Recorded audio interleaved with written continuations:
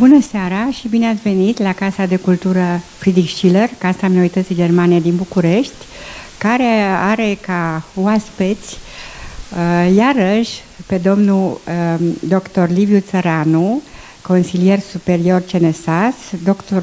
Florian Banu, consilier superior CNSAS și domnul Mihai Floroiu de la Asociația Identitate Culturală Contemporană, care este și coordonatorul acestei expoziții de excepție.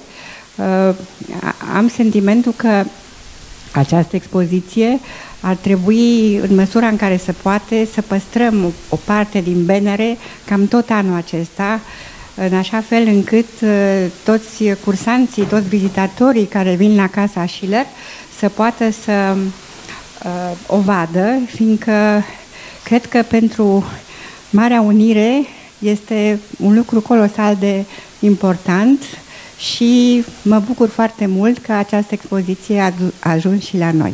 Acum vă dau pe colega mea, Aurora uh, Și eu vă spun bine ați venit și am să vă rog să ascultăm mai întâi pe prietenii noștri, Ana și Marius Boldea, deja sunt prietenii casei Schiller, uh, de data aceasta și pentru că unul dintre participanții la conferință dorește ceea ce și-au propus Nabucco Verdi.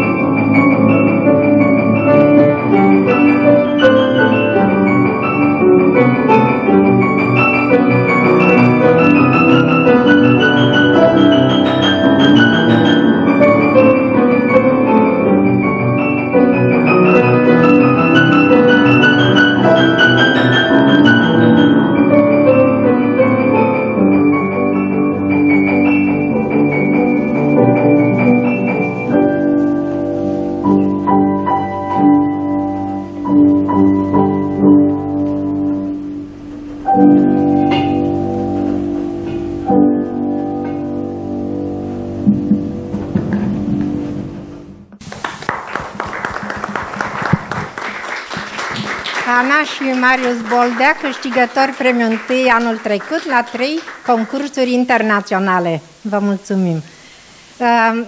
Vreau să vă spun că îmi cer scuze, vă repet de fiecare dată, tradiția Casei Schiller este să abordeze marile teme de actualitate și marile teme ale culturii, de la istorie până la artă și literatură, care impresionează Europa sau au ceva de spus restului lumii. Nu se poate altfel.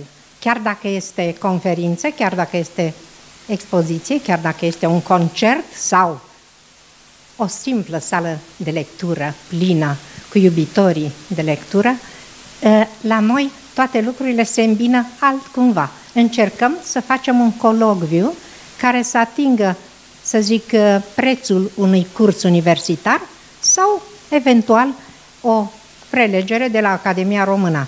De ce nu? Am fost și acolo, am văzut ce s-a întâmplat la Sibiu, cu Marea Unire.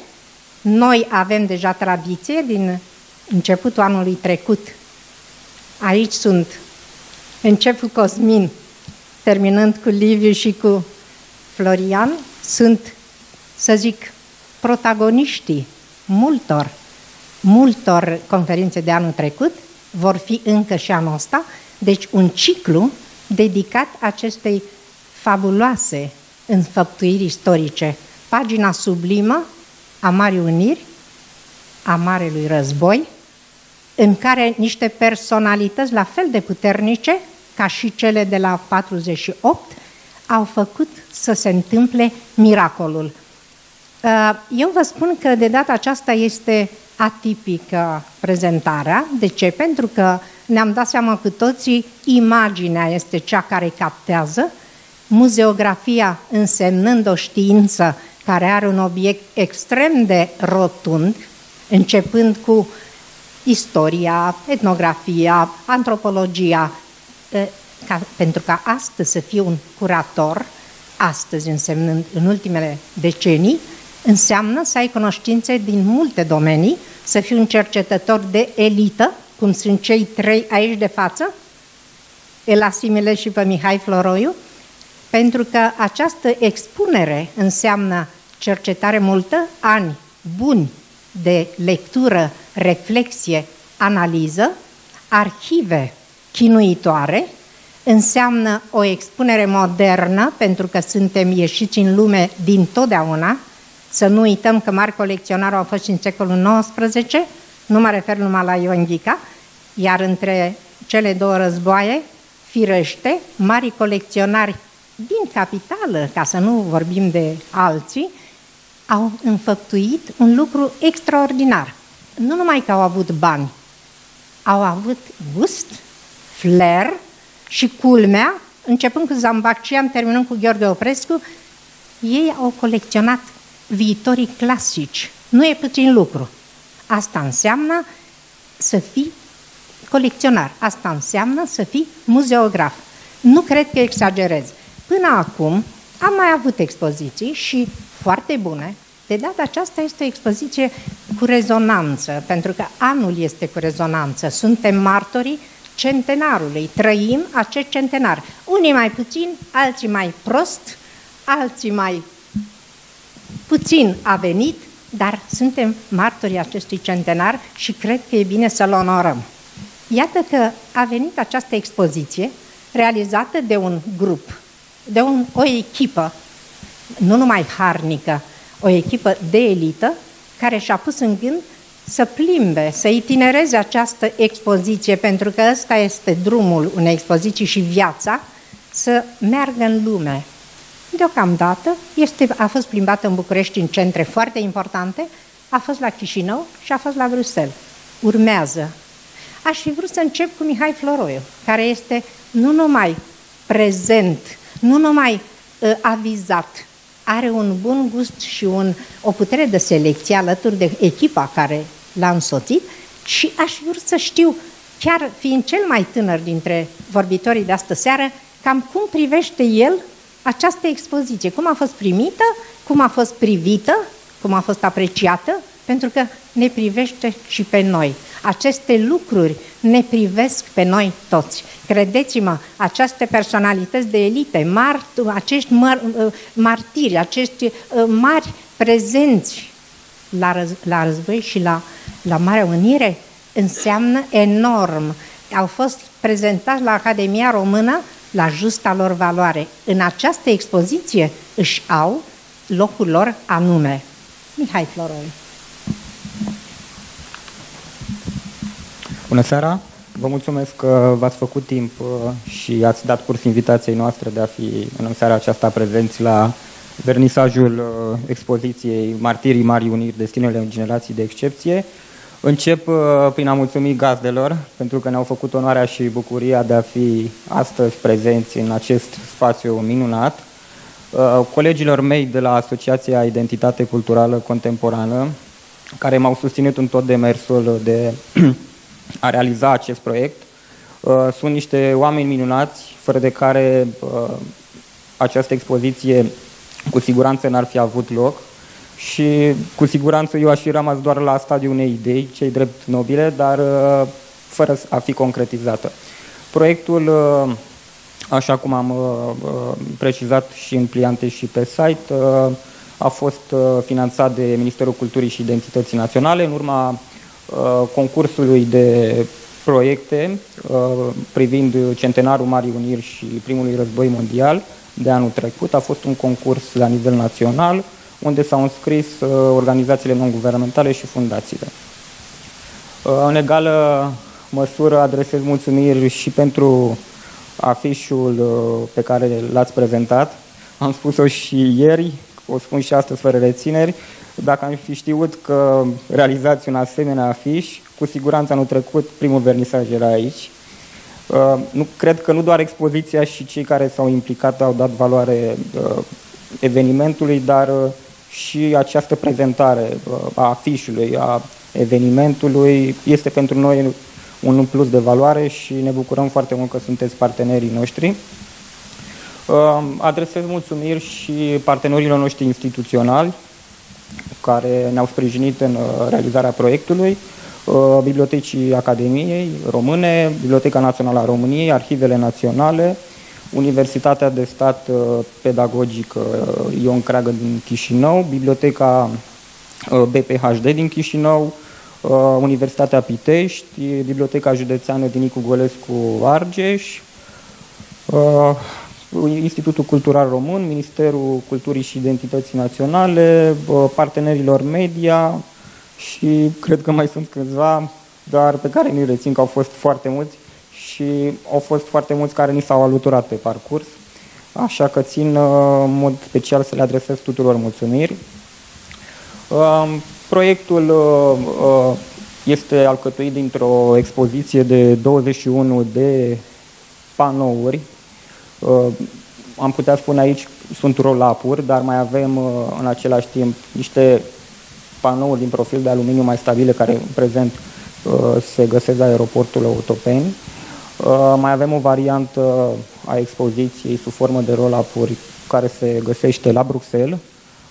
Așa cum a spus doamna Aurora anul trecut, am vernisat expoziția pe 28 noiembrie, dedicată Zilei Naționale, Uh, la Bruxelles împreună cu partenerii noștri, Institutul Cultural Român, uh, Bruxelles, uh, Ambasada României pe lângă Regatul Belgiei și reprezentanța permanentă a României pe lângă Uniunea Europeană.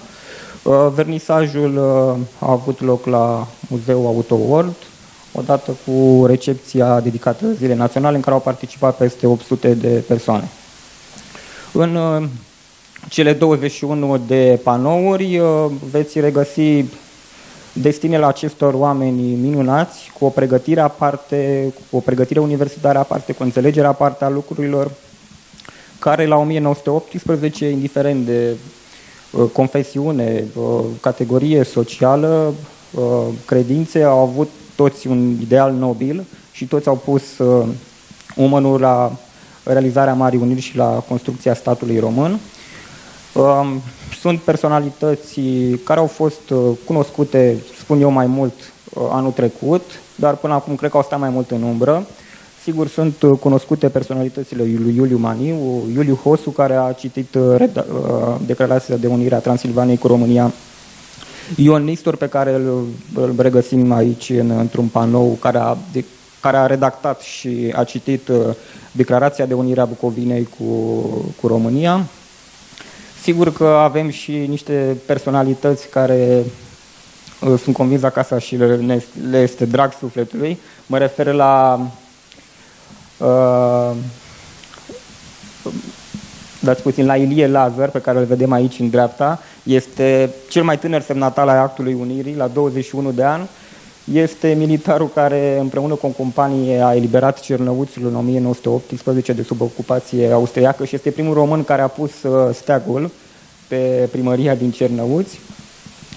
Cum avem și uh, cel mai tânăr semnatar, cred că în această expoziție și cred că și în uh, fruntea elitelor de la 1918 avem aici și cel mai scund semnatar al, act, al Actului Unirii. Este vorba de Iosif Jumanca, un socialist care nu depășea nici 1,59 m ca înălțime, dar uh, cu o statură mică, dar cu un discurs uh, formidabil. Să ne imaginăm că la 1918 cei care au fost uh, prezenți au trebuit să rostească discursuri Uh, de pe tribuna Marii Adunări Naționale în fața 100.000 de oameni, fără să aibă vreun microfon. Și gândiți-vă cum acest personaj, reprezentant al uh, socialiștilor, la 1,59 m a putut să rostească un asemenea discurs, dar a impresionat tot publicul. Și uh, cine va citi uh, practic discursul lui se va observa că sunt foarte multe aplauze, sunt multe puncte de suspensie acolo. Cred că a emoționat foarte mult publicul. Uh, nu aș vrea să detaliez uh, destinele acestor oameni. Le veți regăsi și pe site-ul nostru centenarromânia.ro unde uh, veți regăsi practic tot materialul documentar din expoziție, dar avantajul acestui site este că pentru fiecare personalitate în parte noi am încercat să reunim o colecție de fotografii din diverse arhive, instituții, muzee, pentru a observa practic parcursul acestor oameni în fotografii, de la naștere, din copilărie, până în uh, ultimul act al uh, morții. Practic, ultima fotografie este cea din detenție, pentru că scopul acestei expoziții a fost să arătăm cumva și contrastul în biografiile, fractura în destinul acestor oameni, care, uh, pe lângă faptul că toți au uh, luptat și au avut un același ideal comun de a vedea cu ochii lor uh, realizarea României mari, au și un element în comun. Toți acești oameni au fost arestați ilegal, li s-au înscenat procese și mulți, foarte mulți dintre ei au murit în închisorile comuniste, uh, în circunstanțe destul de tragice. Vreau să menționez doar câteva. Spre exemplu, Aurel Vlad, un personaj din Transilvania care a avut un rol foarte important acolo, a sprijinit financiar uh, armata română. Uh, înainte să moare, l-a rostit uh, rugăciunea pe patul de spital și peste câteva ore a murit. Uh, Iosif Jumanca, la fel, el a fost uh, obsedat de ideea sinuciderii. Uh, această uh, informație am regăsit-o în dosarele lui uh, de la securitate. Iuliu Maniu, Ion Mihalache. Uh, uh, vreau să vă spun că mie mi-a scăpat un anumit uh, amănunt pe care l-am descoperit zilele trecute. Știam despre cei doi, că au murit la o diferență de 10 ani. Ion Iuliu Maniu, pe care îl vedeți aici, a murit în 1953, în februarie, la Sighet. Ion Mihalache a murit la Râmnicu Sărat în februarie 1963. Uh, dar ceea ce este surprinzător e cum i-a adus viața. A murit în acea zi, 5 februarie 1953, 5 februarie 1963. Practic, ei au fost uh, unii dintre cei mai importanți lideri pe care a avut România mare. Uh, Iuliu Maniu a fost de trei ori primul ministru, Ion Mihalache a fost președintele Partidului Național Țărănesc și, sigur, un om de mare importanță, mare importanță în, în politica României mari. Uh, aș mai spune câteva lucruri despre uh, expoziție. Primul vernisaj a fost uh, anul trecut, în luna octombrie, la Biblioteca Națională.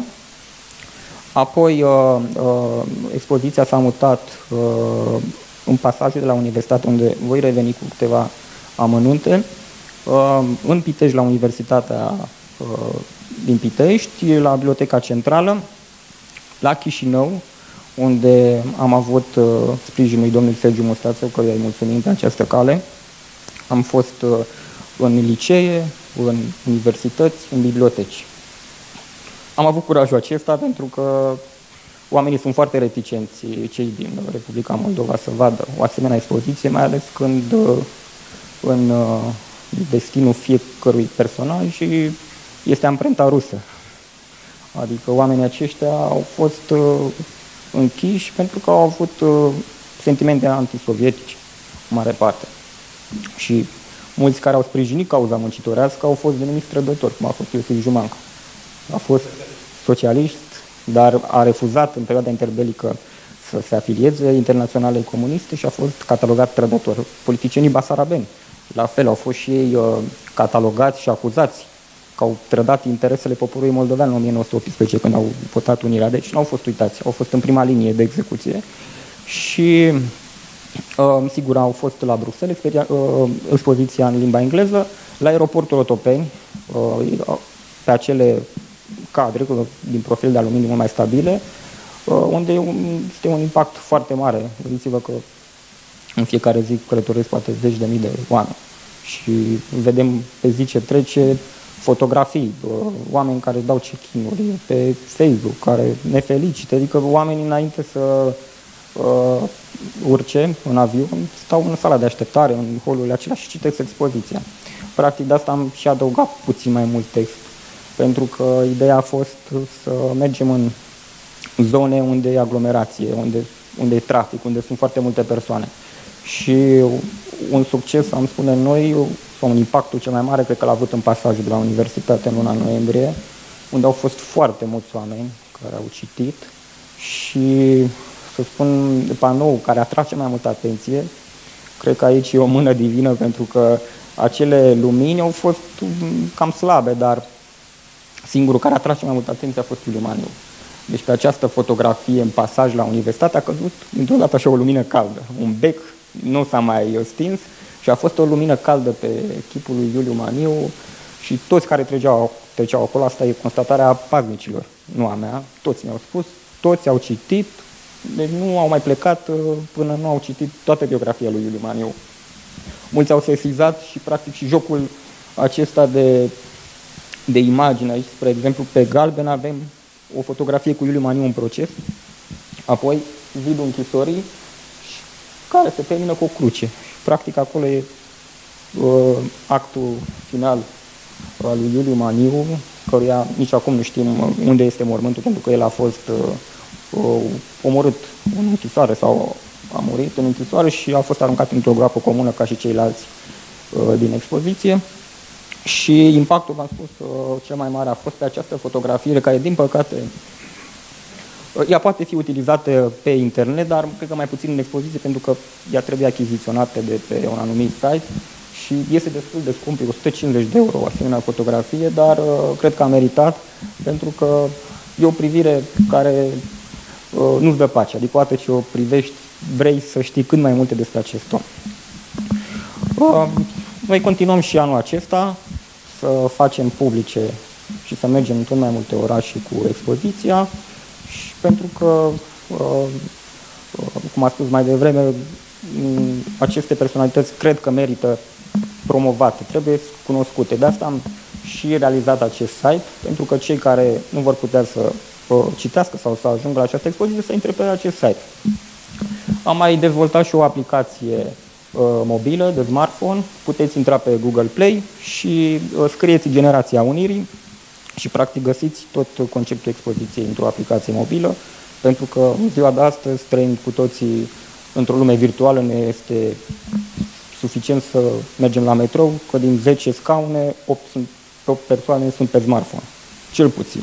Deci trăim într-o lume virtuală și credem că unul dintre scopurile asociației noastre este să uh, încercăm să aducem informația în spațiu online, în mediul virtual, pentru a fi cunoscută de cât mai multă lume.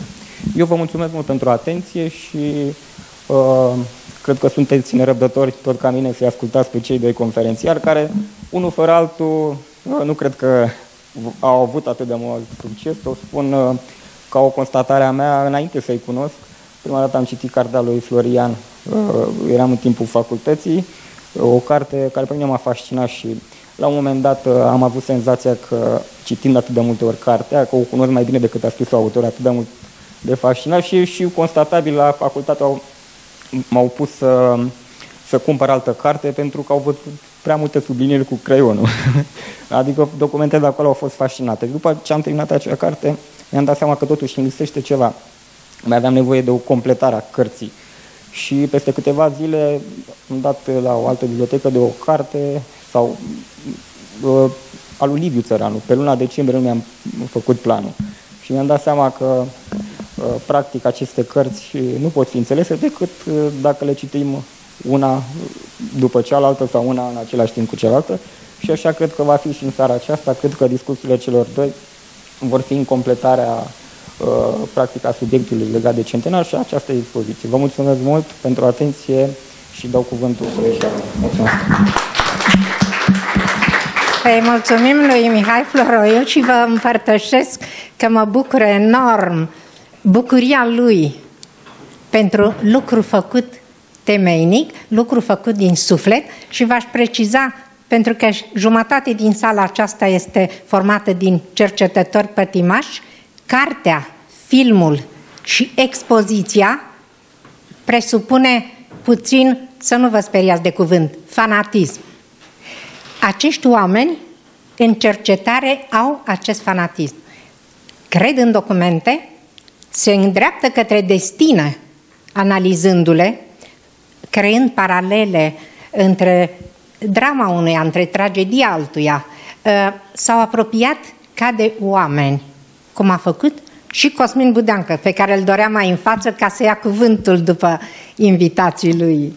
Și vreau să vă spun că m-am bucurat enorm când am văzut fiecare panou cu cât bun gust este redată selecția aceea, fiindcă în momentul în care ai făcut selecția, începe lupta cu tine însuți sau însăți. Atunci îți taie cineva din carne vie. Anca știe sentimentul, pentru că atunci nu poți să așezi o fotografie pe care ai descoperit-o și te-a obsedat, nu poți să o așezi altcumva decât așa cum o dorești să iasă în lume, departe. Repet, ăsta este drumul unei expoziții. Nu, o expoziție nu poate să zacă într-un muzeu, într-o școală, într-o academie, într-un teatru.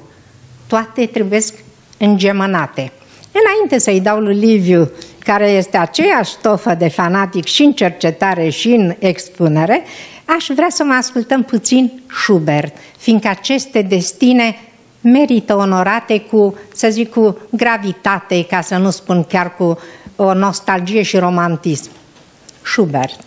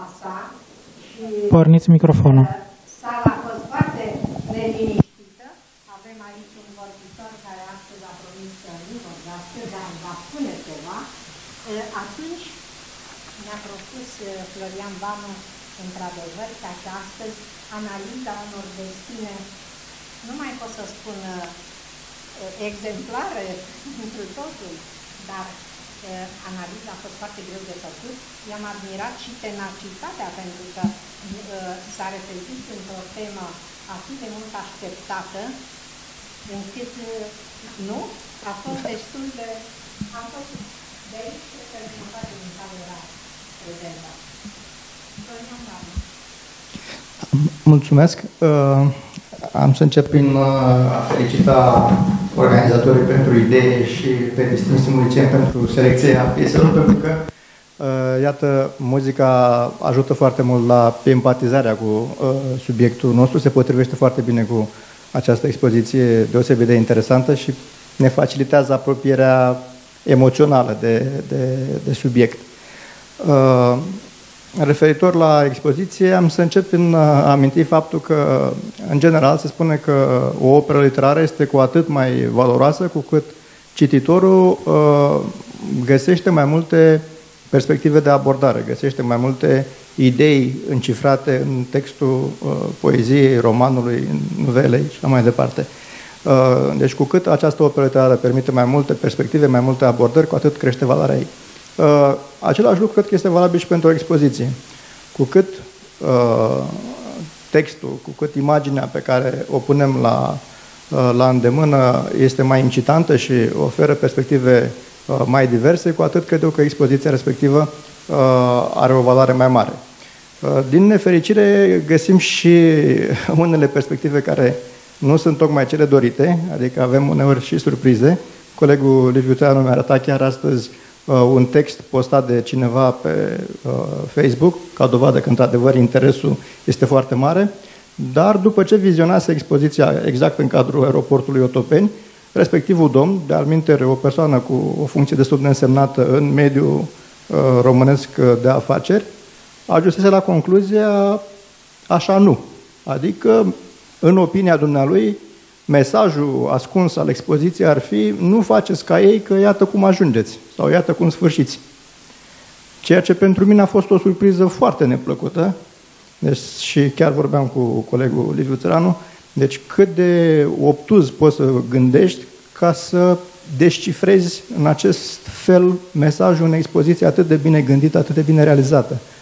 Uh, dar mi-e teamă că, din păcate, o astfel de perspectivă nu este unică. Mi-e teamă că sunt foarte mulți uh, politicieni din ziua de astăzi. Știți că uh, Rădulescu Motru făcea o distinție clară între omul politic și politician. Cei doi au trăsături cu totul diferite.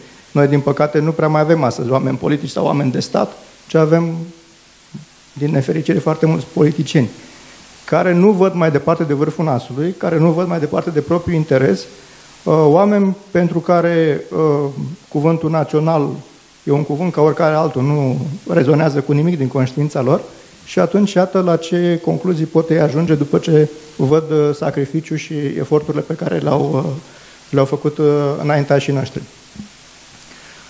Din fericire pentru noi, zic eu că în trecut acest gen de oameni a fost uh, uh, minoritar. Mi-ar place să sper că și în viitor va redeveni minoritar și că România va putea să genereze elite politice autentice în măsură să regenereze uh, întreaga națiune, în măsură să creioneze un nou proiect uh, național care să pună în valoare toate energiile pe care această națiune le are fără, fără doar și poate. Uh, referitor la figurile uh, cuprinse în această expoziție, oameni deosebiți de uh, o, o înaltă ținută morală și cu o înaltă viziune, acest lucru este atestat fie și de simplele citate pe care colegii le-au selectat atât de bine, atât de izbutit și ne le-au pus la îndemână. Iată ce face diferența între omul politic, omul de stat, care are viziune, a cărei gândire trece dincolo de realitatea imediată și uh, se îndreaptă undeva la decenii sau, iată, chiar la uh, centenarul acesta pe care îl uh, sărbătorim, uh, și omul de rând care, cum am zis, nu e în stare decât să conceapă o afacere, un gheșeft, uh, să se lupte pentru un post uh, mai călduț, un post de parlamentar, de europarlamentar, un secretar de stat sau eventual un ministru. Oameni lipsiți de viziune, lipsiți de proiecte strategice.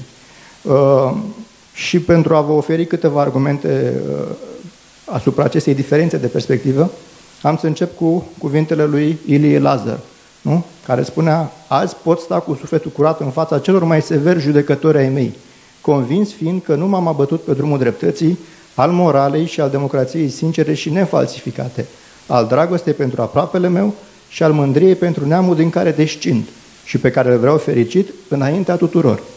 Nu e un naționalism de grotă, cum am văzut că toți se aruncă cu noroi de atâta vreme asupra cuvântului patrie, asupra cuvântului național, ca și cum ar fi ceva uh, blamabil. Iată că valorile creștine, pentru că zice aici și dragostea pentru aproapele meu, și mândria pentru neamul din care descin. Deci, iată, aceste valori au fost cele care i-au ghidonat pe oamenii aceștia care au realizat România Mare și care au avut permanent în vedere istoria ca judecător. Deci ce va fi după ce eu mă voi încheia cariera de om politic sau viața aceasta pământească. Cum voi păși eu în istorie? Cum vor fi consemnate faptele mele după ce eu îmi închei activitatea? Câți dintre oamenii politici de astăzi mai au o astfel de frământare, mai au un astfel de gând? Mi-e teamă că foarte puțin. Și spuneam de, de perspectivă, spuneam de uh, modul în care ei au înțeles temeliile pe care trebuie să-și construiască proiectul. Iată ce spunea Daniel Ciugureanu. Suntem un neam care a trăit sfâșiat, robit și prigonit de sute de ani. Dacă astăzi putem spera în zile mai bune, dacă ne vedem întruniți în hotare mai drepte, o datorăm biruinței principiului național. Cu cât acest principiu va triumfa mai departe, cu atât temelia însă și a neamului nostru se va găsi mai întărită. Ceea ce a fost perfect adevărat. Câte vreme principiul național a fost solid, câte vreme oamenii au înțeles că națiunea și statul național le oferă un cadru propice în care ei să prospere, lucrurile au stat bine. În ziua de astăzi ne vedem confruntați cu forțe care atacă statul național.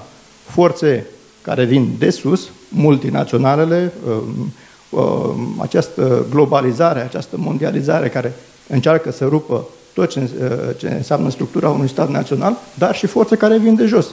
Așa numitele pledoarii pentru regionalizare, drepturile ale minorităților și așa mai departe statul național, așa cum a fost croit și consolidat de acești oameni, se găsește în fața unei duble provocări.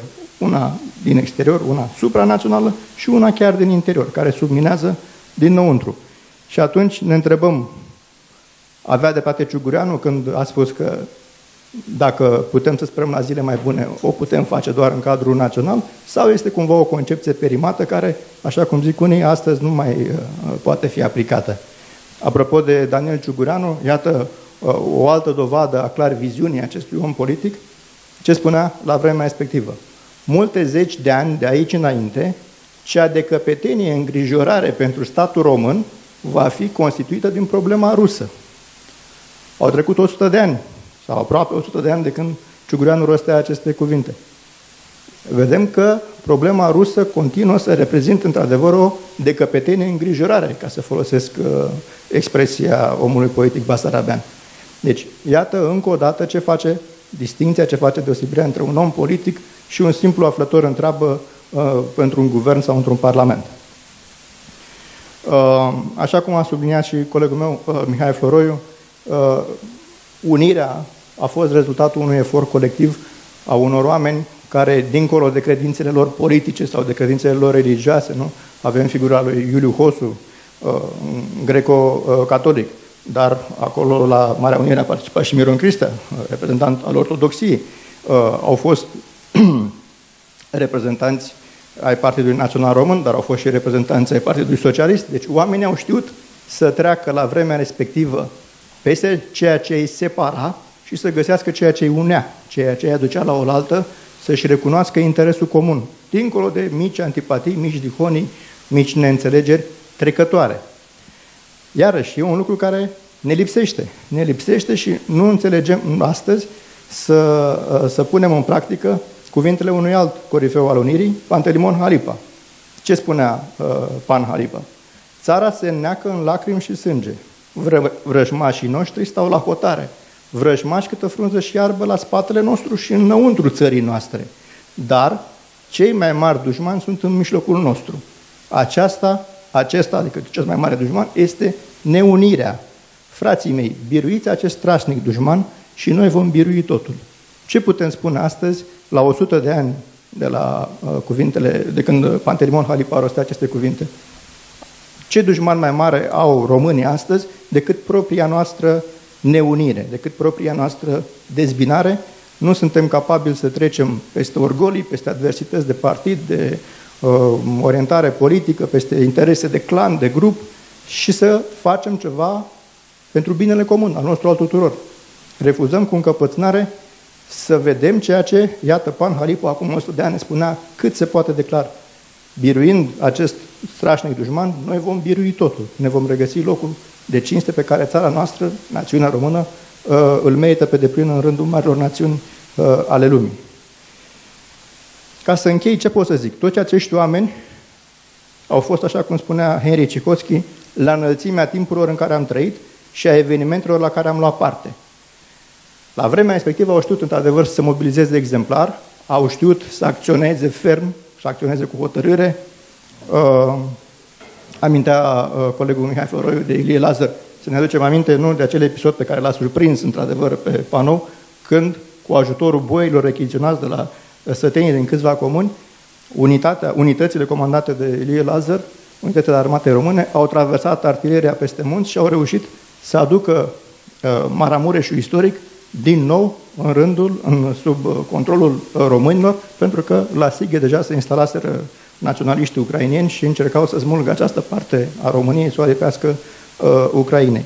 Deci la vremea respectivă au fost la înălțimea, la înălțimea timpurilor lor. Mesajul ultim al acestei expoziții, zic eu că ar fi acela ca oamenii politici totuși să se mobilizeze nu doar pentru o clipă, pentru uh, un moment, uh, oricât ar fi el de important, cum a fost acela al Marii Uniri, pentru că, din păcate, istoria ne-a arătat că acești oameni atât de extraordinar la 1918-1919, după ce pacea s-a așternut, au căzut în capcana politicianismului, au căzut uh, sub influența unor forțe mai mult sau mai puțin uh, distrugătoare, iar uh, în perioada interbelică, mulți dintre ei au avut, uh, au avut foarte mult de suferit, iar presidiul lor a fost uh, știrbit de, de aceste mărunte lupte.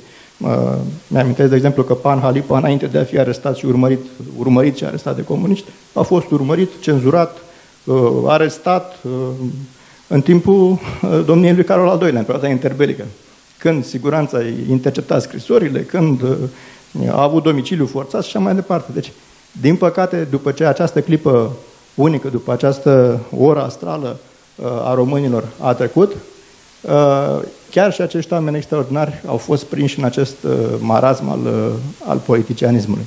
Poate că de aici ar trebui să medităm cu toții, poate că aici ar trebui să învețe ceva și cei care conduc astăzi destinele națiunii române, dar, dincolo de toate, cred că cel mai important este ca noi, fiecare, să învățăm ceva din istorie și să încercăm să ne comportăm ca atare, să nu mai cădem în greșelile uh, înaintașilor noștri, să putem sta așa cum, uh, uh, cum spunea uh, Cehoschi, cu fruntea sus, să putem privi uh, cu sufletul curat la ce am făcut sau la ce facem uh, în viața noastră de zi cu zi. Vă mulțumesc foarte mult! Mulțumim, Florian Banu, uh, cu demnitate am ascultat frumosul cuvânt al lui Florian Banu, da, la înălțimea acestor oameni de excepție. Ei sunt niște, au fost niște, o generație de excepție, sunt niște modele. Ne place sau nu, ă, nu putem exista fără niște modele. Când citim citatele din această expoziție, minunatul Iorga și pretutindeni un titulescu care are discursuri exemplare, avem de învățat.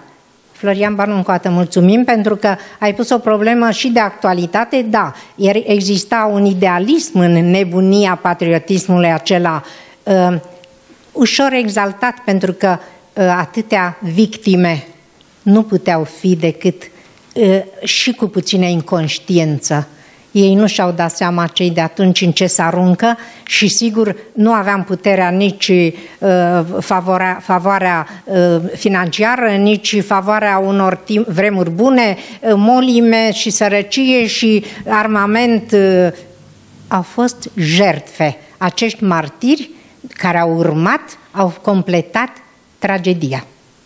Nu trebuie să ne fie frică de cuvinte. Au fost unele destine dramatice, frânte, dar au fost tragedii autentice. Liviu Țăranu Mulțumesc, mulțumesc foarte mult. Recunosc că eram așa într-un soi de reverie. Mă gândeam uh, la ceea ce au spus uh, colegii mei și prietenii mei mai devreme. Și, într-adevăr, și doamna directoare m-a întrebat chestiunea asta înainte de a începe aici dezbaterea. Care este, care este mesajul acestei expoziții? Până la urmă, ce i-a determinat pe acești oameni care au devenit personalități, care au devenit eroi martiri ai neamului românesc, ce i-a determinat să ne lase o asemenea lecție de viață sau să ne lase un, un asemenea exemplu. Da? Care e mesajul? Pentru că domnul acesta care are o poziție, da, cum spunea Florian, importantă, vicepreședintele Camerei de Comerț și Industria României să se întrebe, mesajul este, uh, mesajul expoziției este fiți atenți ce faceți, că nu se știe cum o terminați. Asta în rezumat. A, ar fi, e, știți, oamenii vor să sunt interesați de trecut, de istoria romanțată, de poveștile de dragoste, de uh, Ehm, pasiunile care s-au născut între diverse personalități sau adversitățile. Dar partea aceasta care se termină prost, partea aceasta care constituie de multe ori un deznodământ trist al unor veți, oamenii nu prea vor să și-o însușească. De ce? Pentru că de multe ori concluziile și adevărurile care se desprind în aceste biografii sunt foarte, foarte dureroase. Iorga avea dreptate, suntem aici în calea tuturor răutăților. Și dacă nu ne asumăm chestiunea aceasta, nu vom înțelege multe. Eu uh, mi-am propus, și așa am și discutat și cu Florian și cu Mihai, să concretizez puțin tot ceea ce uh, în planul general s-a, s-a, uh, despre ce s-a vorbit astăzi aici. S-au împlinit acum două zile, pe 5 februarie, și a spus foarte bine Mihai, 66 de ani de la moartea lui Iuliu Maniu. Desigur că figura lui Iuliu Maniu este poate între cele, cea mai importantă, deși nu putem vorbi aici de o personalitate mai importantă decât alta în uh, tot ceea ce înseamnă procesul acesta de uh, construire a Marei Uniri. Dar Iuliu Maniu și personalitatea lui se detașează între toate aceste 18 personalități pe care le avem aici expuse. Uh, aș fi vrut să vin astăzi cu câteva chestiuni care înseamnă din uh, biografia lui Maniu, care înseamnă până la urmă o pledoarie pentru o elită adevărată de care are România astăzi. Pentru că, într-adevăr, cei de aici, cei pe care găsiți biografiile acestor oameni, sunt modele sau sunt, dacă vreți, repere pentru o elită pe care cred că România ar merita în continuare și o elită care să ducă mai departe sau să împlinească mai departe visul României mari. Astăzi nu avem România mare. Astăzi e, România este fără Basarabia, fără nordul Bucovinei. România mare rămâne un deziderat. Deci avem nevoie în continuare de o elită care să împlinească acest vis de unitate al românilor. Citez. N-avea nicio patimă, dar îi plăcea să vâneze și era un excelent trăgător la țintă.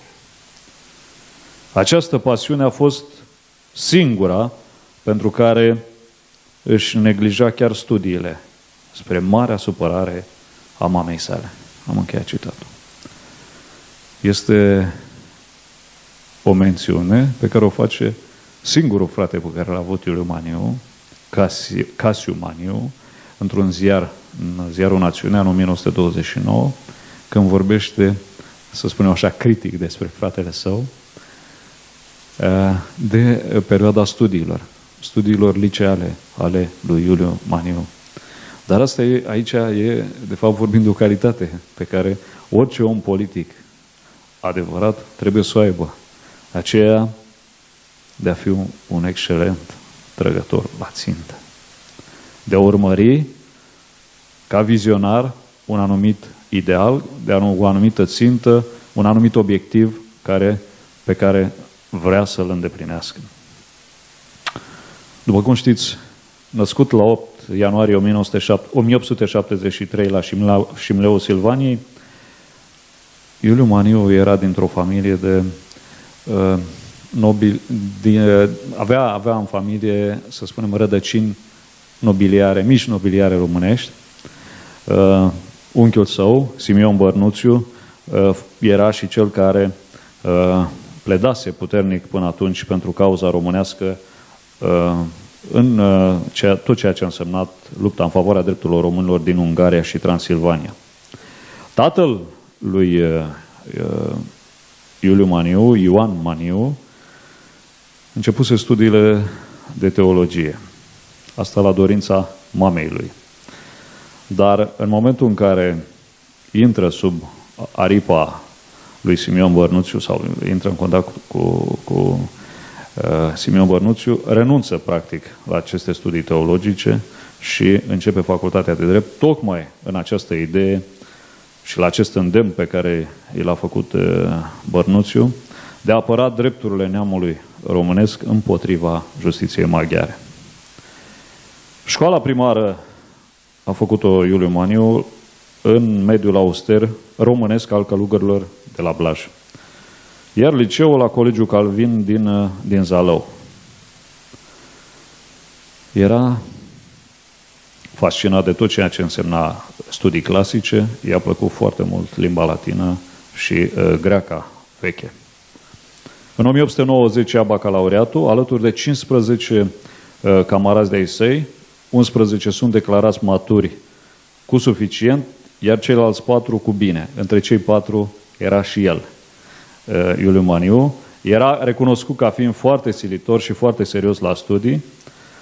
Interesant, ce i s-a dat la examen, la examenul de maturitate, între altele la limba și istoria maghiară, a fost, i s-au pus două întrebări.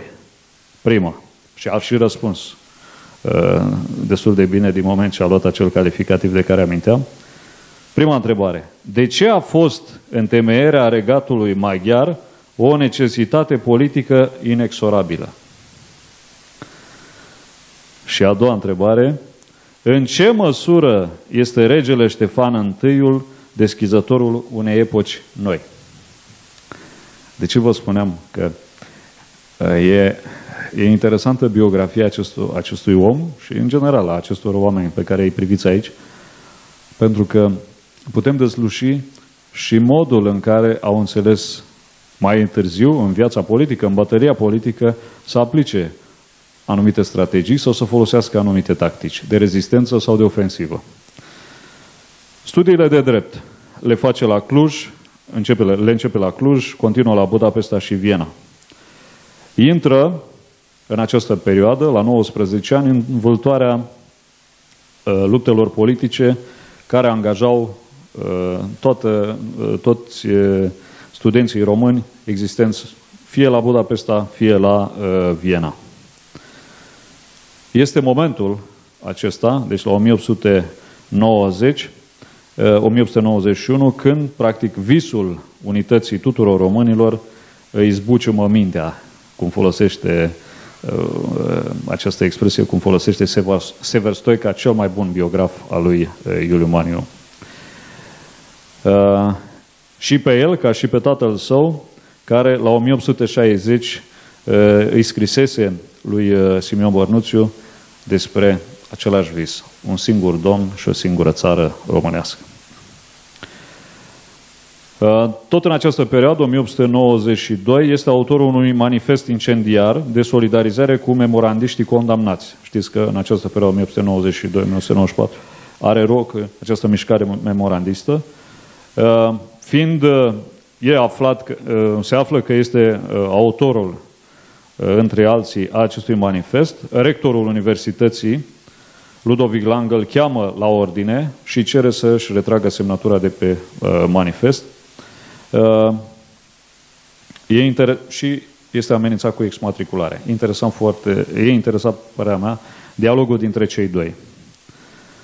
Spune la, la această um, replică foarte clară a rectorului că dacă, domnule, dacă nu se retragi semnătura de pe manifest, vei fi exmatriculat, uh, Iuliu Maniu îi răspunde, citez, Dreptul de a manifesta convingerea nu mi-l puteți lua.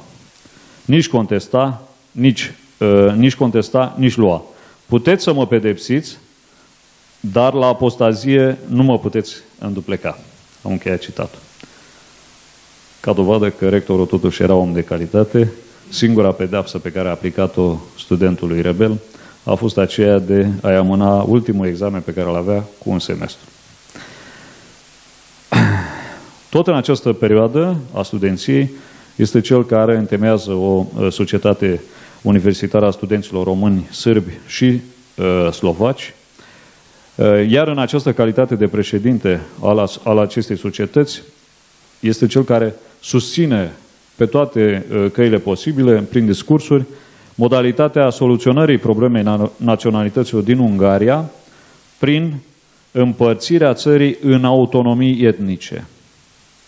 Este, de fapt, chestiunea, noutatea cu care Iuliu Maniu vine în această dezbatere sau în acest, acest conflict care exista uh, uh, legat de uh, ceea ce se întâmpla cu naționalitățile din Ungaria și din Imperiul Dualist.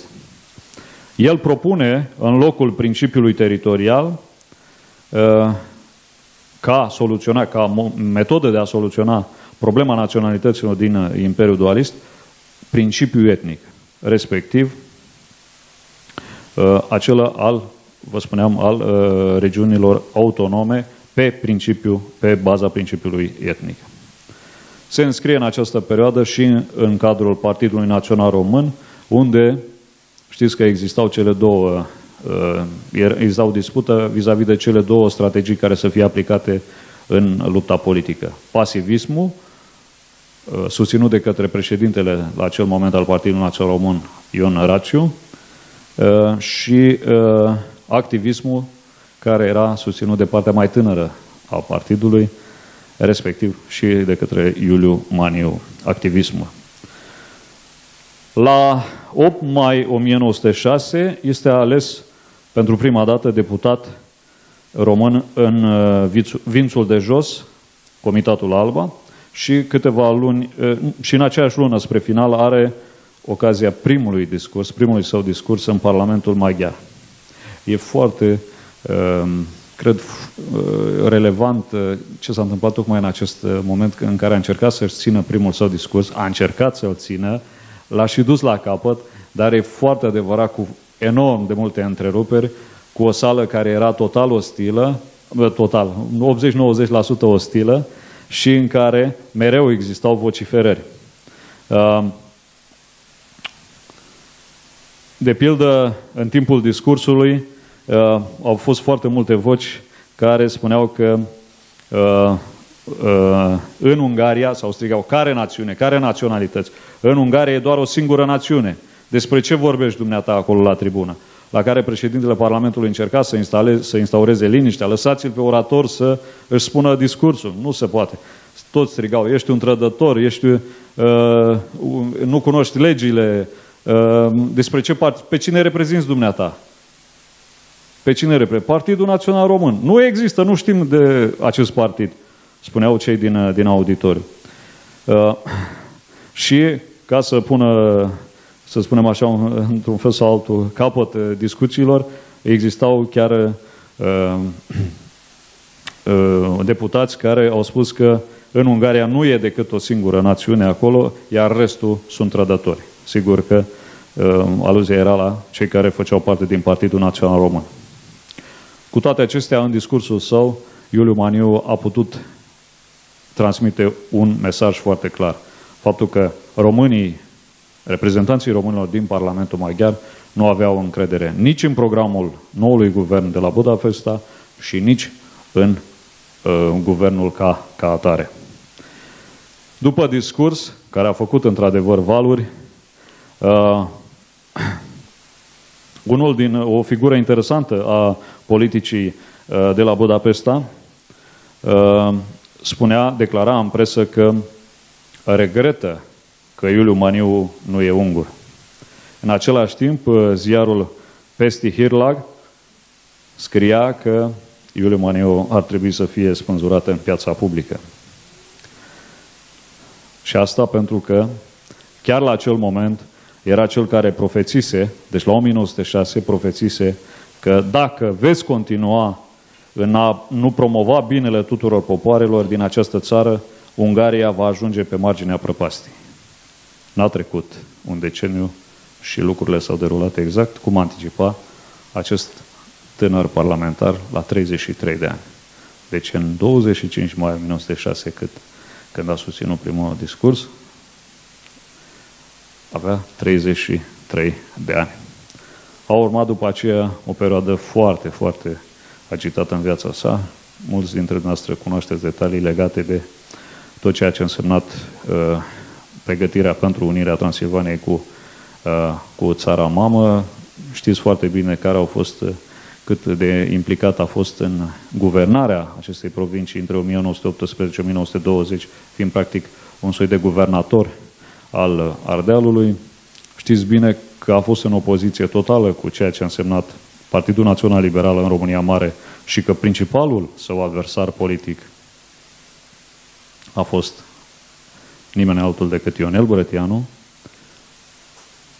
Iuliu Maniu n-a recunoscut niciodată, de pildă, Constituția de la 1923. El a spus foarte clar, o Constituție se votează întotdeauna de către o adunare constituantă. Nu a existat așa ceva. Parlamentul ales în 1922, care avea majoritate liberală, atât Senatul cât și Camera Deputaților, a fost cel care a votat Constituția din 1923, dar nu avea atribuții în acest sens. Și, sigur, Iuliu Maniu, care era un jurist uh, desăvârșit, a, avea și argumente temeinice în acest sens. Constituția de la 1923 nu a beneficiat de votul unei adunări constituante. A fost, după cum uh, știți, unul din cei care a susținut și a fost criticat pe bună, pe bună dreptate în anumite chestiuni Uh, atunci când vine vorba despre revenirea în țara prințului și apoi a celui care a fost regele Carol al II-lea, cel care a venit la începutul lui iunie 1930 pe nepusă în România și care, potrivit unor voci, ar fi trebuit să fie arestat de Iuliu Maniu, care era prim-ministru. De ce n-a făcut-o? O spune foarte clar uh, Coposu, cel care a fost foarte apropiat și care a discutat îndelung pe marginea motivelor pentru care Iuliu Maniu nu a ripostat împotriva lui Carol al II-lea în momentul în care acesta a venit fără să anunțe, a revenit în țară. Și unu, o, câteva din, din motivele pentru care Iuliu Maniu n-a făcut uh, uh, acest lucru este că, și a spus-o foarte limpede, uh, era acela că uh, Carol era văzut ca un opozant al liberalilor, ca o victimă a liberalilor. Uh, societatea românească îl aștepta cu brațele deschise. În România deja exista o mișcare care era favorabilă. Existau trei ani de exercițiu al regenței și nimeni în țara românească nu era mulțumit de modul cum decurgeau treburile. Armata îl susținea din umbră pe regele Carol, pe prințul Carol, pentru a reveni uh, în țară. Și foarte multe, multe alte chestiuni care l-au determinat la acel moment pe Iuliu Maniu să accepte revenirea în țară și, până la urmă, instalarea pe tron a lui Carol al II-lea, pe care, de-a lungul anilor 30, în căruia, ă, ă, de-a lungul anilor 30, îi va face opoziție. Și va fi, clar, un, ă, un adversar politic, el fiind cel care i-a pus numeroase condiții pentru, și câteva condiții care au fost clar acceptate anterior de Carol al II-lea pentru a putea reveni pe tron. Între altele, divorț de Elena Lupescu, împăcare cu principesa Elena și au mai fost câteva condiții la care uh, Carol al II-lea a fost uh, și-a dat acordul de plin. Nimic nu a respectat, din păcate, din înțelegerea cu Iuliu Maniu.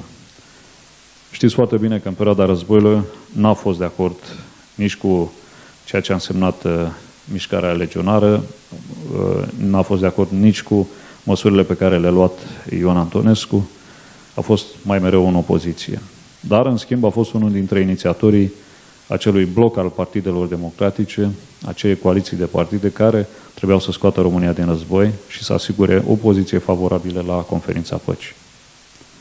A fost în iulie 1947, în urma scenării de la Tămădău, arestat și trimis la închisoarea de la Galați.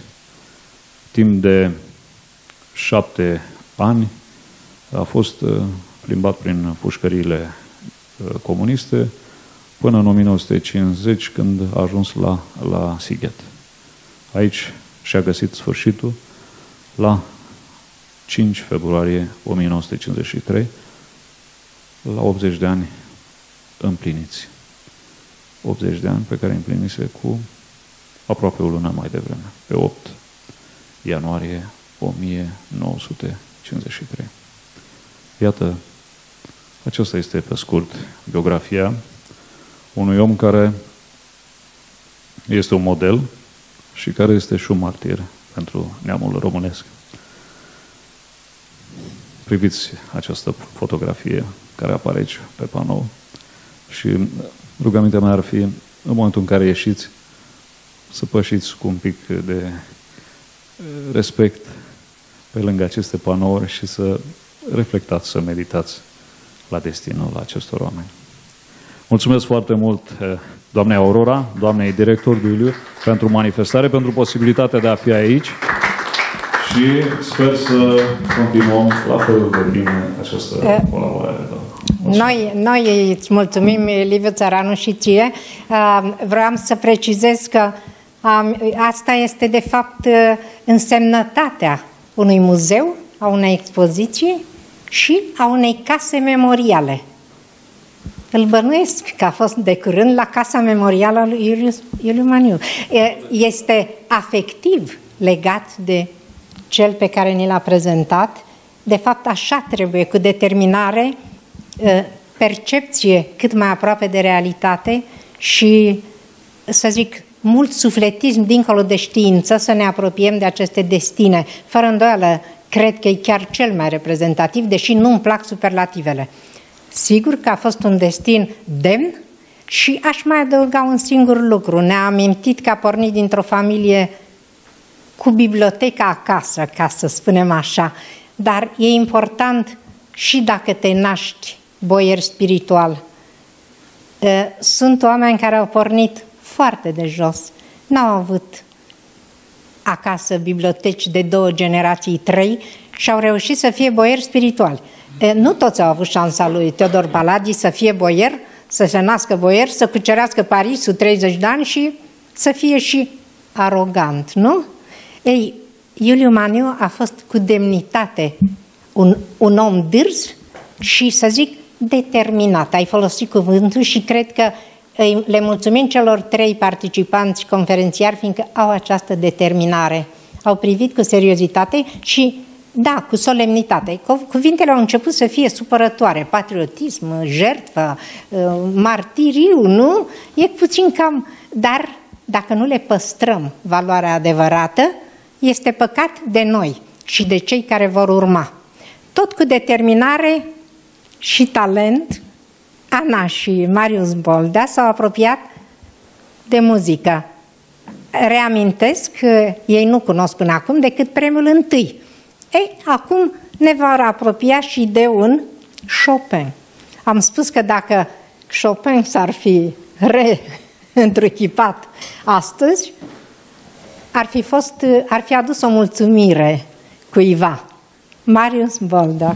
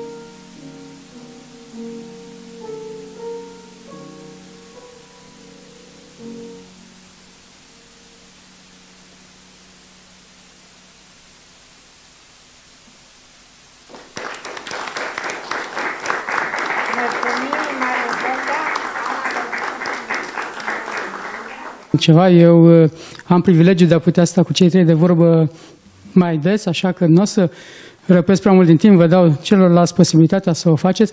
Vreau să-i felicit pentru, pentru această seară, vreau să-i felicit pentru uh, expoziție. Uh, mă bucur că această expoziție și acest proiect s-a materializat. Nu știu dacă e momentul să o spun sau nu, dar uh, am cunoscut proiectul Vorba Poetului pe când nu se zărea. Uh, m-am bucurat când l-am văzut pe acest proiect și încă unul pe care îl văzut tot așa într-o fază anterioară pe lista celor care au beneficiat de finanțare și uh, acum văd că într-adevăr uh, selecția a fost una uh, făcută serios și rezultatul uh, confirmă.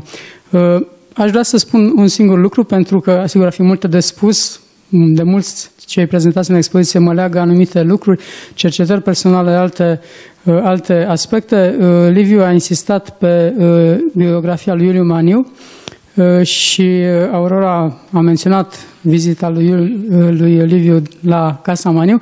Astăzi am văzut pe uh, pagina de Facebook uh, Salvați Casa Iuliu Maniu un anunț Uh, vreau să vă spun că acolo preotul uh, Cristian Bors face lucruri extraordinare și de astăzi un anunț că ar mai fi nevoie de vreo 50.000 de euro ca proiectul uh, de amenajare și de expoziție în acea casă să fie finalizat. E un lucru extraordinar pentru că acum vreo 2 ani și jumătate când am văzut Casa Maniu era o ruină, iar când am fost anul trecut împreună cu Liviu și alți colegi, lucrurile erau total schimbate. S-a investit foarte mult suflet, în primul rând, Partea cu banii am menționat-o, dar e secundar în această ecuație. S-a investit foarte mult suflet, foarte mulți oameni de bine au uh, pus umărul la, la proiectul de acolo și se speră că anul acesta, poate sau anul viitor, Casa Maniu va fi uh, deschisă pentru vizitatori. E un caz foarte fericit. Nu sunt foarte multe, din păcate. La Giulești, casa lui uh, Ilie Lazar și poate fi vizitată. E aproape de Uh, de Sighet, ar cei care au drum acolo pot să facă o mic, uh, mică deviere de la traseu și să o viziteze. Alții, din păcate, nu beneficiază de așa, această șansă de a avea o casă memorială, de a, de a li se prezenta biografia așa cum ar merita. Iar faptul că această expoziție există, faptul că ea este prezentată în, în diverse locuri din țară și din, uh, nu doar din țară și din, din Europa, și că va fi în continuare prezentată, este un mic gest de reparație pentru ceea ce, din păcate, noi nu am reușit să facem în acești 100 de ani, să ne respectăm și să ne punem uh, uh, acești eroi pe un piedestal pe care el l-ar fi meritat. Vă felicit încă o dată. Mulțumim mult, Cosmin Budeancă. Și el a fost uh, protagonistul unei serii asemănătoare cu cartea lui minunată despre germanii din Transilvania, o altă problemă fierbinte sufletește, Transilvania noastră dragă, la care tot așa au fost alături istorici, filozofi, antropologi și au fost foarte încântați. Avem încă o luare de cuvânt, domnul Fadoreanu, și vin acolo. Mulțumesc. Uh, mă adresez cumva mai mult dumneavoastră, așa care sunteți foarte bine pregătiți ca istorici. Ca, uh, cred că avem o, o problemă foarte dureroasă și stringentă. Uh, noi spunem ar trebui să ne unim, să ne trezim, să ne mobilizăm. Din păcate, este foarte târziu. Dacă îmi dați voie să folosesc imaginea asta de stil dușmanul, s-a mobilizat cu mult înaintea noastră, a ocupat toate fronturile posibile, a distrus toate mișcările coerente, știți foarte bine cum au distrus. Uh, s-a repetat într-un fel ceea ce s-a întâmplat în 45, acum suntem la a doua invazie. În 89 a avut loc o lovitură de stat, susținută, bineînțeles, și tot ce a urmat după seamănă până la identitate cu ce s-a întâmplat în 45. Un, un asalt asupra forțelor democratice, infiltrare în partidele care existau, partidele care se înființează noi și orice grupare sunt imediat infiltrate. Nu este o scenarită. Uh, beneficiile care se obțin din exploatarea acestei țări sunt atât de mari încât își permit să financeze și să plătească niște oameni care să se prezinte imediat. Știți foarte bine cum a fost distrus PNL-ul după 89 prin infiltrarea Patriciu, Cataram, Antonescu, uh, tot, toți acei tineri lupi de care bătrânii liberali s-au bucurat că vin și ajută mișcarea liberală și iată că tinerii se adaugă și continuă și care au distrus, nu mai vorbesc de Partidul Țărănesc, acum au apărut câteva mișcări de tineret cu această pătură de tineri care într-adevăr nu suportă, sunt mai bine informați, sunt mai mobilizați, sunt gata să sacrifice, numai că oamenii își doresc să se sacrifice, dar nu degeaba. Adică ar vrea să vadă că are un sens, are un rost.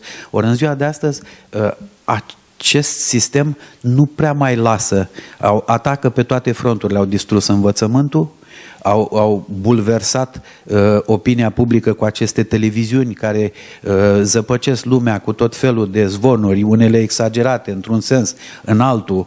Uh, uh, există acest fenomen de uh, deportare oarecum voluntar al poporului, a motorului acestui popor. Deci tot tineretul, toți oamenii care vor să muncească, să mobilizeze, sunt determinați. Uh, uh, uh, la prima vedere pare că este un haos, pare că ne conduc niște imbecili și așa este, dar acești imbecili sunt puși de uh, niște oameni extraordinar de inteligenți în a face praf această țară și au exploata la maxim. Problema stringentă pe care ar trebui să ne opunem este ce e de făcut. Din păcate, e foarte greu și nu văd eu personal, poate dumneavoastră sau alții mai deștepți să vadă, unde anume ar putea poporul ăsta să-și uh, unească energiile ca să poată fi eficient. Pentru că în momentul ăsta nu prea mai e ce face. Adică uitați-vă la mișcările astea noi care au apărut. Nici nu au apucat bine să înfiripe și deja sunt infiltrate pe la vârful lor care cum îl cauți are câte o genealogie de asta de te trec fiori pe spinare și spui, bă frate, da, Chiar nu mai există vorba, Doamne, chiar nu mai există un om din popor, chiar nu mai există un om venit de la țară, chiar nu mai copii de securiști din tată, de mari securiști din tată în fiu. Bun, unul treacă, meargă, nu plătesc copiii pentru părinți, dar, dar numai ei, adică unde sunt oamenii normali din țara asta? Și închei ca să nu mă lungesc prea mult, problema este ce e de făcut. E foarte târziu și e foarte greu. Mă rog, mă iertați că v-am, m-am lungit prea mult. Mulțumim. Rămâne întrebarea. Domnul Fadaran. Întâi și întâi vreau să, să polemizez un pic cu ultimul vorbitor, cu domnul. Uh, prin noiembrie, să știți că nu, nu, nu cred în, în intel, superinteligențele care uh, aranjează problemele mondiale. În noiembrie, în toamna lui 89, îi spuneam lui Geo Bogza, ah, n-am avut azi noapte un creonaș să notez pe frazele care mi-au trecut prin minte, care trebuie spuse musai după, după ce cade comunismul. Și Geo mi-a răspuns, Fodorene, nu fraze trebuie aici, foc, pentru că aici e metastază. Era conștient de starea poporului, de prostirea națiunii. Așa că și era înainte de 93 când s-a stins. Nu, înainte de 89, adică asta mi-a spus-o în noiembrie 89, înainte de a cădea Ceaușescu. Uh, an, penultimul vorbitor a spus că 100 de ani nu, uh, nu, nu au fost respectați. Au fost respectați uh,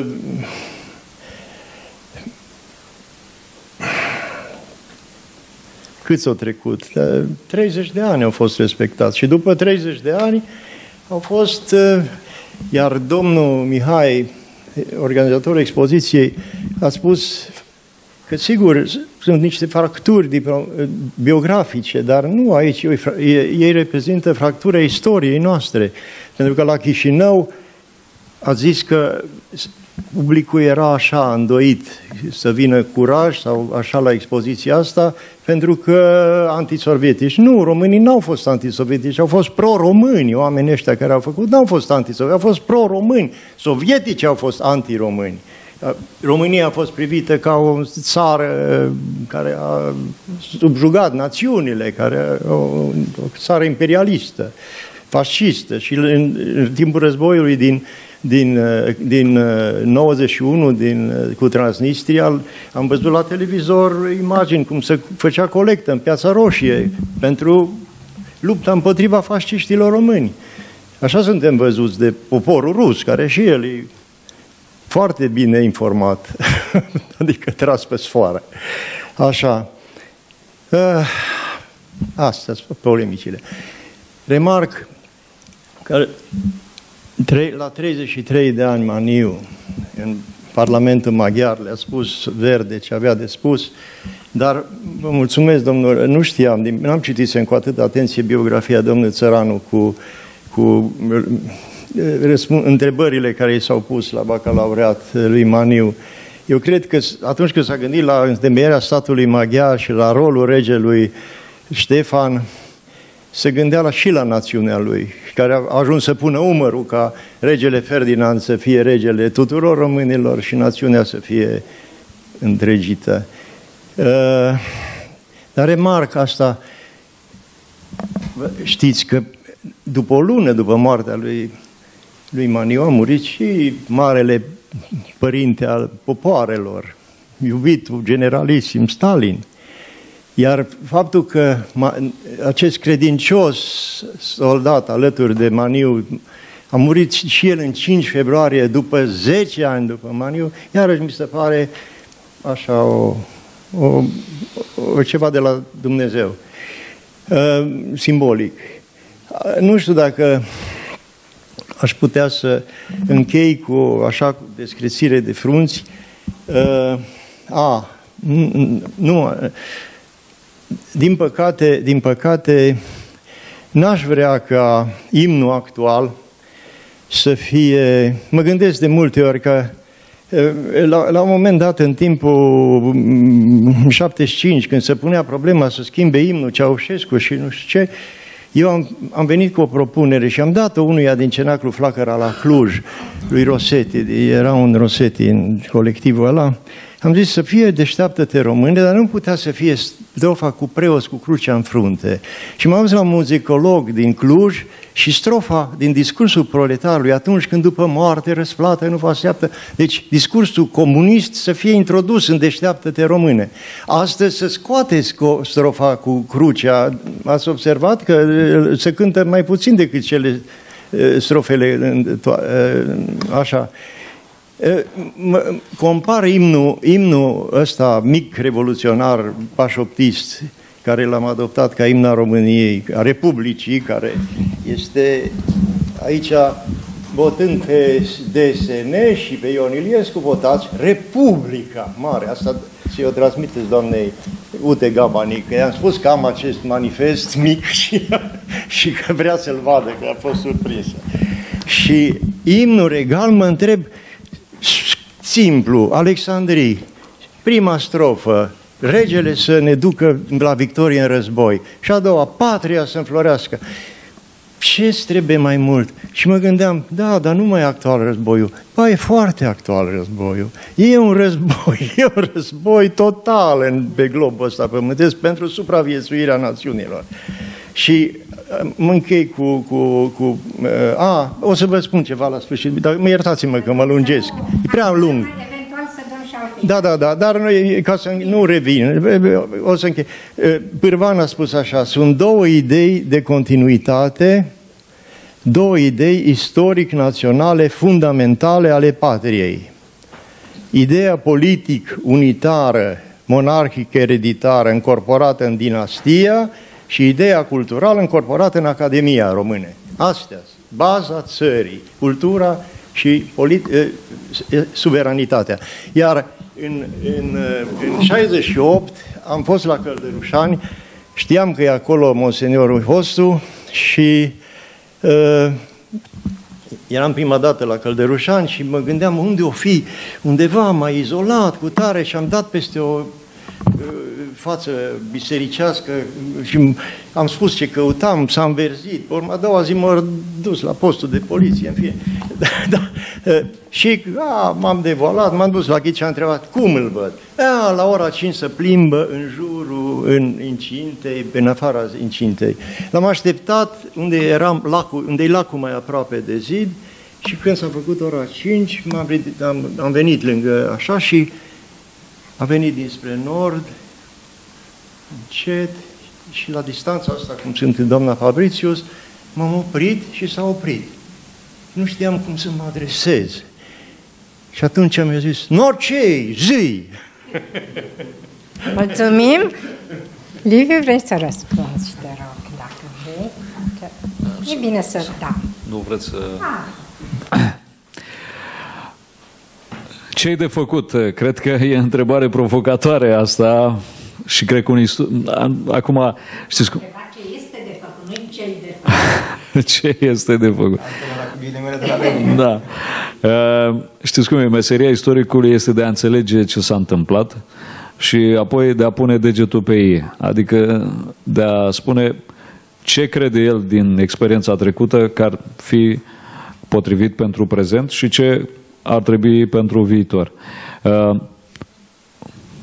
Uh, Florian a menționat aici. Marea problemă a românilor, dincolo de unire, este dezunirea, dihonia. Deci prima, prima chestiune care ar trebui reglată, cred că aici ar fi uh, legat, um, în chestiunea aceasta a energiilor. Ce facem în continuare? Nu putem, deci nu putem să mergem uh, mai departe pe acest sistem în care uh, societatea românească este extrem de divizată. A doua mare problemă trebuie uh, uh, rezolvată în zona aceasta a demografiei.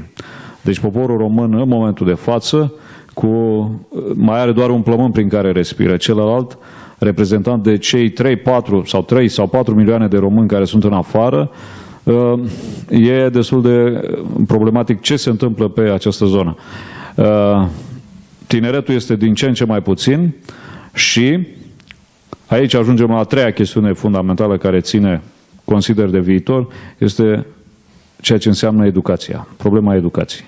Și pregătirea acestei noi sau acestor noi generații pentru ceea ce urmează într-un uh, spirit, dacă poate nu mai e potrivit să spunem patriotic, dar care să țină să, sau să aibă neapărat uh, legătură cu tot ceea ce înseamnă iubirea de țară, iubirea de, de neam. Asta cred că ar trebui făcut de acum încolo. Uh, eu am să fiu mai concis. Uh, am să amintesc că ce spunea cândva Confucius, că un drum de o mie de mile începe cu un pas. Deci, eu cred că înainte de a ne propune obiective mult mai ambițioase, cred că trebuie să acționăm asupra nouă înșine, să ne facem fiecare dintre noi datoria și să trăim așa cum am vrea, să ne facem, uh, să fim oameni de omenie la locul nostru fiecare dintre noi, să ne educăm copiii în același spirit și eu cred că dintr-o sumă de oameni care trăiesc onorabil, trăiesc cinstit, trăiesc în, anumite, în respectul anumitor valori, atunci și o națiune are șanse să se regenereze. Este perfect adevărat ce a spus noastră, e foarte târziu deja, poziții importante au fost uh, căpătate de acești germeni destructivi. În mentalul colectiv s-au strecurat idei nefericite, zilnic auzim în stânga și în dreapta lamentații, asta e România, ce să-i faci, n-ai ce să-i faci și așa mai departe. Deci s-a mers pe sistemul picăturii chinezești de 30 de ani, mi s-a picurat în urechi zilnic, zilnic, zilnic același mesaj. Uh, diverse figuri publice nu au făcut decât ca prin mass media audiovizuală și scrisă să ne transmită același mesaj că suntem ultimele ligioi de pe pământul ăsta, cei mai neisprăviți și cei mai uh, neonorabili oameni cu putință, că toate păcatele s-au adunat aici între Dunăre, Carpați și uh, Marea Neagră și iată că încet, încet acest mesaj repetat cu obstinație, acei oameni care tot timpul au spus că s-au săturat uh, de România, că le rușine că sunt români, că ei nu vorbesc românești în străinătate, că, că, că știți foarte bine toate prostiile care se spun atât de des. Uh, și au făcut loc, din păcate, în mentalul tinerilor, care ei reprezintă speranța, ei reprezintă uh, viitorul. Dar, revenind la ideea de la care am pornit, dacă fiecare dintre noi ne vom face treaba onorabil, vom înceta să așteptăm ca altul să facă primul pas, iar noi vom continua să ne comportăm lamentabil, nu cred că există vreo șansă de schimbare. Schimbarea începe cu fiecare dintre noi. De aceea eu cred că totuși trebuie să ne păstrăm optimismul, chiar dacă suntem într-adevăr împinși undeva pe ultimele poziții de rezistență națională. Vă mulțumesc. Mulțumesc și eu. După cuvintele lui Florian, nu aș avea foarte multe de precizat. Cred că principalul lucru care lipsește generației de astăzi este ceea ce au avut cei de la 1918 și anume unitatea. Cred că, îmi place să folosesc mereu un citat, că gândul nu coboară acolo unde, nu este, unde este prea multă vorbărie. Important este, importantă este acțiunea și fiecare să ne facem treaba acolo unde suntem și împreună să, uh, să avem ceea ce generația de la 1918 a avut în suflet și în fapte, ce anume unitatea, în acțiune, în ideal și în scop comun. Vă mulțumesc! Mulțumim mult! Mai întrebăm o dată.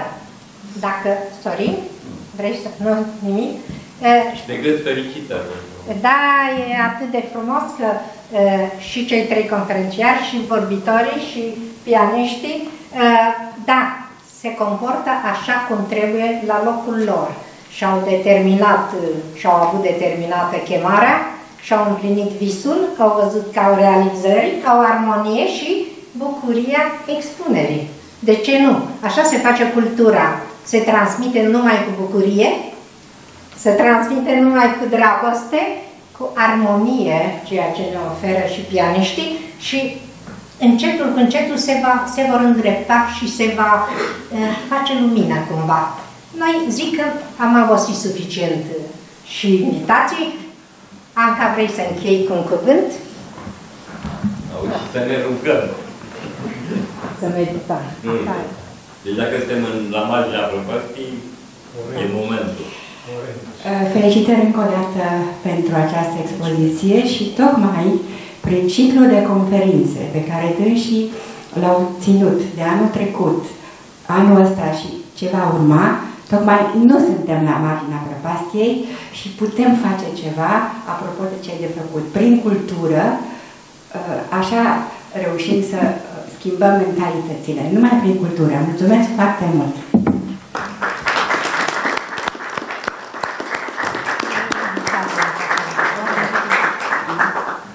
Acum nu mai vrei să ne cânti încă un Chopin pentru că nu, nu ne execuți astă seară. Vă invităm alături la un pahar de vorbă și de suc, de, de vin și vă mulțumim.